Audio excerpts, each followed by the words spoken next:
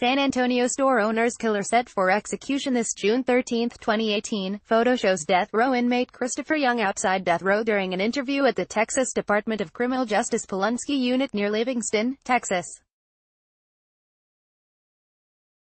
The Texas Court of Criminal Appeals has refused to stop the scheduled execution of Young, who was convicted of fatally shooting San Antonio convenience store owner Hasmukh Hash Patel in November 2004. He is scheduled to die Tuesday, July 17, 2018.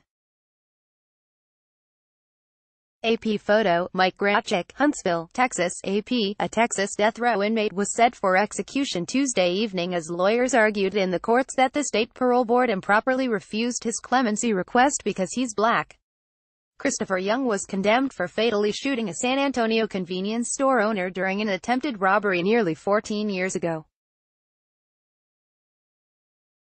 Young, 34, has never denied the slaying, which was recorded on a store surveillance camera, but insisted he was drunk and didn't intend to kill 53-year-old Hasmukh Hash Patel after drinking nearly two dozen beers and then doing cocaine that Sunday morning in November 2004.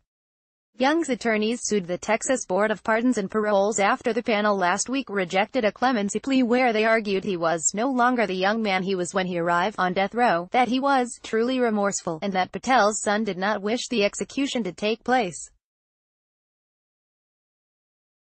the civil rights suit, his lawyers argued a white Texas inmate, Thomas Whitaker, received a rare commutation earlier this year as his execution was imminent for the slaying of his mother and brother. Young is black and race improperly, appears to be the driving force in this case, attorney David Dow said in the appeal that sought to delay the punishment.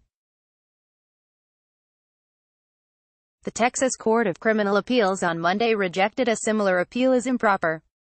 Stephen Hoffman, an assistant Texas attorney general, said the civil rights lawsuit was a delay tactic, improper, speculative and legally and factually deficient. Young and his lawyers argued he no longer was a Blood Street gang member, had matured in prison and hoped to show others, look where you can end up. I didn't know about death row. Young said from prison. It needs to be talked about. You've got a whole new generation. You've got to stop this, not just executions but the crimes. Nobody's talking to these kids. I can't bring hash back but I can do something to make sure there's no more hashes. According to court documents, Young sexually assaulted a woman in her apartment with her three young children present, then forced her to drive off with him in her car. She managed to escape, and records show he drove one block to the mini food mart where owner Patel was shot during an attempted robbery.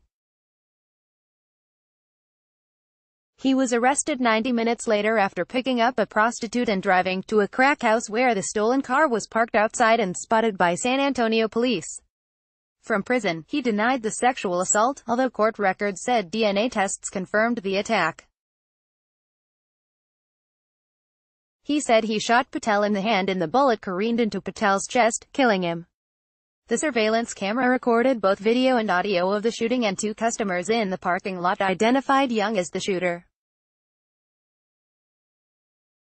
Mitesh Patel, whose father was killed by Young, said last week at a rally for Young in San Antonio that he supported Young's clemency bid because nothing positive comes from his execution, and carrying out the punishment would leave Young's three teenage daughters without a father. Young said the shooting stemmed from a dispute he believed involved the mother of one of his three children and Patel.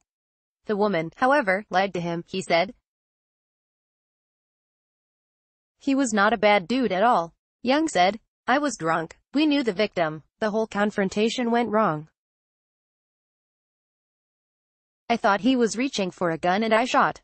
Young said he excelled at chess and violin, cello and bass but all that stopped and he joined the Bloods when he was about eight after his father was shot and killed in a robbery. His execution would be the eighth this year in Texas, one more than all of last year in the nation's busiest capital punishment state. At least seven other Texas inmates have execution dates in the coming months. Copyright Copyright 2018 The Associated Press.